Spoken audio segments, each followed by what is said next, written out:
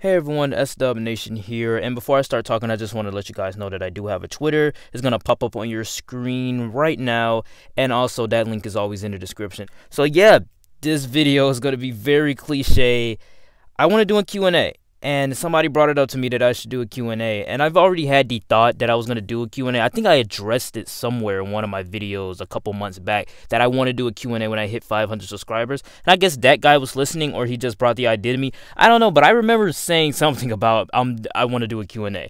But yeah, I want to do a Q&A and I want to see some questions. I want to see people commenting some questions. So if you guys have any questions, ask me anything.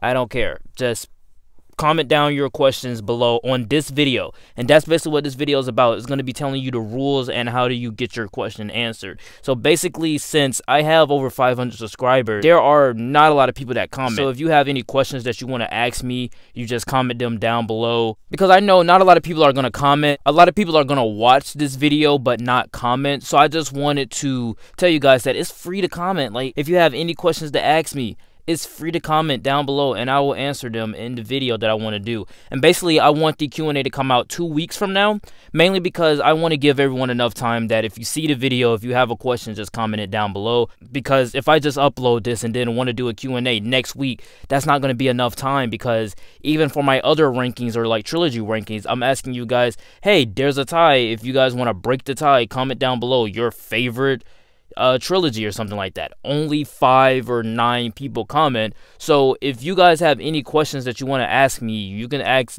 you can ask them down below in this comment section of this video because I will answer them inside of the Q&A 2 weeks from now. But I don't want to see just 9 questions or 5 questions pop up. Now though the people that do comment and do give me questions, thank you. I I thank you very much.